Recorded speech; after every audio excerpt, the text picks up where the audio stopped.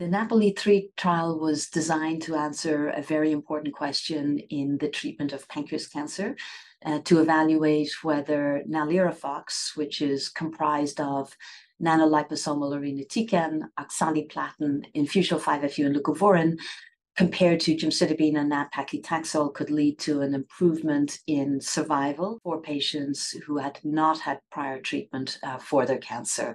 So this is a, a, question that's been on the table for essentially a decade now, and this is the first trial to definitively show that a quadruplet combination compared to a two drug combination impacted outcome in all the uh, survival parameters that one evaluates in an advanced disease trial. The Napoli 3 trial was a randomized uh, phase 3 trial. It was conducted in a global context, part in North America, about two thirds in uh, the world beyond North America, and a percentage of patients were enrolled in East Asia.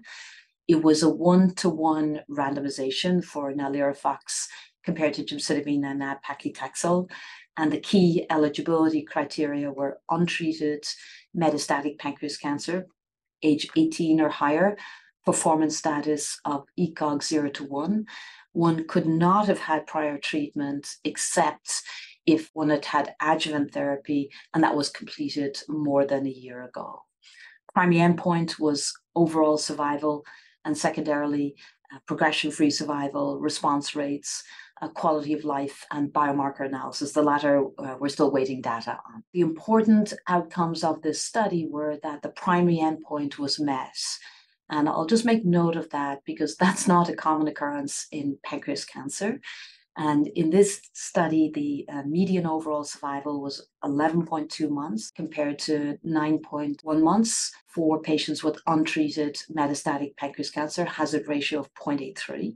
So, again, statistically significant and more importantly, clinically meaningful. Secondary endpoints were progression free survival, that was also met with a hazard ratio of 0.65 in terms of progression free survival, so that was uh, substantive.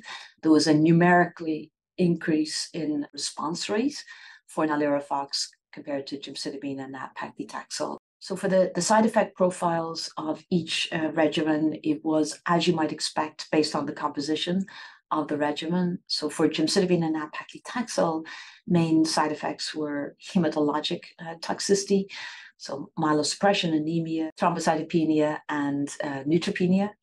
And for NALIRIFOX, it was more gastrointestinal toxicity. So more nausea, vomiting, uh, diarrhea, and hypokalemia. Relative to other studies, you know, somewhat lower rates of neuropathy, and that, that might relate, at least in the NALIRIFOX arm, to the use of a lower dose of oxaliplatin. It was 60 milligrams uh, per meter squared. Grade 3 neuropathy rates were, relatively speaking, acceptable compared to, to other uh, studies.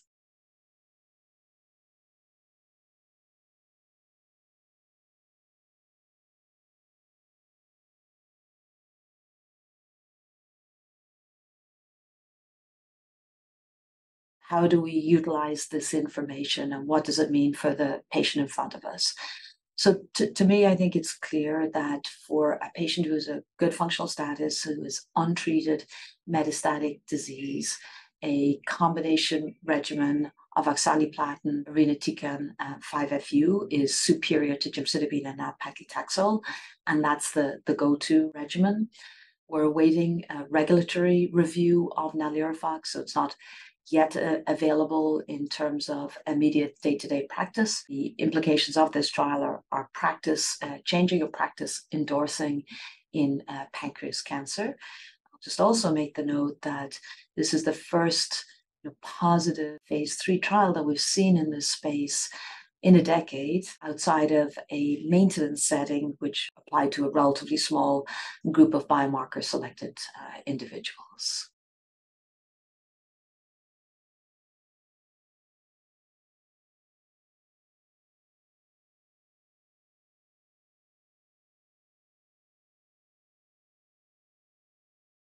This is a you know common and important question: is why is this disease so uh, challenging?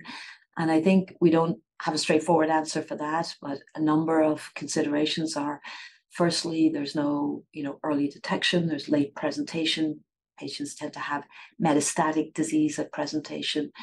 In some senses, it's a genomically complex disease with a lot of heterogeneity, but in other senses, it's relatively homogeneous in that we see, you know, almost ubiquitous KRAS, to a lesser extent, P53, SMAD4, and CDKN2 mutations, which to now have been considered undruggable.